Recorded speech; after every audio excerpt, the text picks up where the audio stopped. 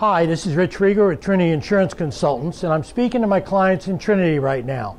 I'll be located at the Walmart on Little and 54, the Publix at Mitchell Crossings, and also the CVS down on Duck Slough if you need help. So Trinity clients, come see Rich Rieger at Trinity Insurance Consultants in those three locations. Remember, Trinity Insurance Consultants, where you're never more insurable than you are today.